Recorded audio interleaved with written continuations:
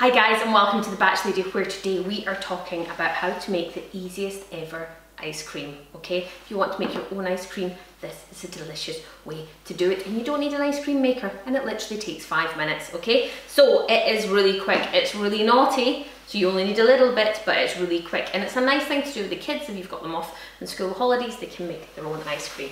So let's get going. What you want to do is you want to get um, some double cream at 600 mils you want a tub of um, condensed milk and you want some um, vanilla extract and that is all you need, three ingredients. Now you can add lots of other flavours to it and in fact this one I've added our own um, rhubarb through it so I quite often will put then put a stewed fruit, fruit through it. You could put ginger, you could put anything you want.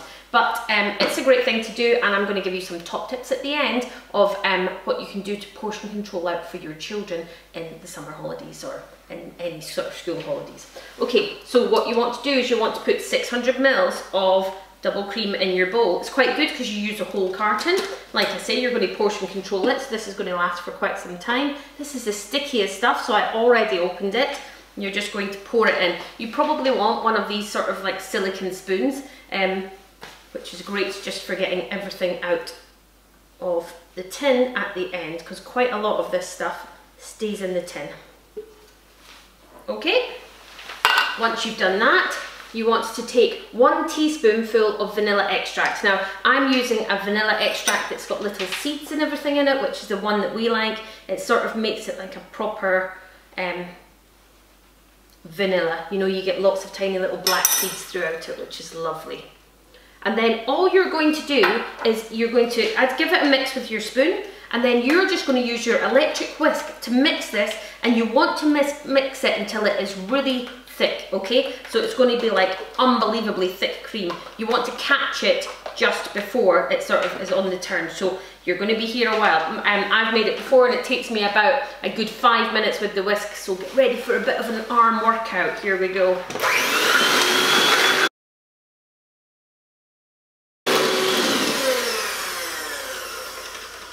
Okay guys, I don't know if you can see that, but that is thick now, like really thick whipped cream, okay? And that's what you want. This took about five minutes to whisk, and that was with an electric whisk, which is actually now quite hot. I think it's, it's about 20 years old, it's definitely nearly had its day, but I also got my daughter to come down and whisk it so that I could multitask and clean the kitchen instead, so she was doing this. So that is all that you want to do, and then you can basically just put it in a dish,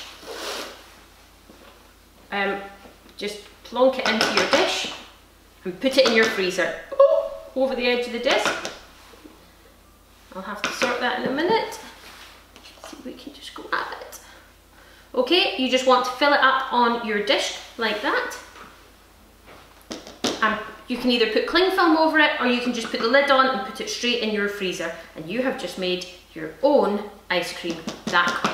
It's amazing. Now, what I want to show you in terms of portion controlling, so if you've got children and summer holidays or it's any type of holidays and you want to be able to say, I like to be able to say when I'm working from home, go and get an ice cream or you can have some ice cream without having to come and then look at how much ice cream everybody's taking. So if you want to, you can freeze it in ice cream scoops.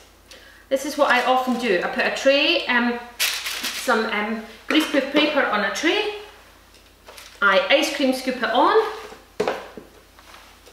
I let it freeze for a couple of hours. It should freeze quite quickly. And I then put them into a Ziploc bag. That way, when my children ask for an ice cream and I'm busy editing videos or working in the office, then I can say, you can go and um, help yourself to two scoops. And they take out two scoops and put it in a bowl and they wait for it to defrost. It's much easier than them taking out a big thing, leaving it to defrost on the side, and I end up coming to check is it defrosted, is it not, have they taken too much, whatever.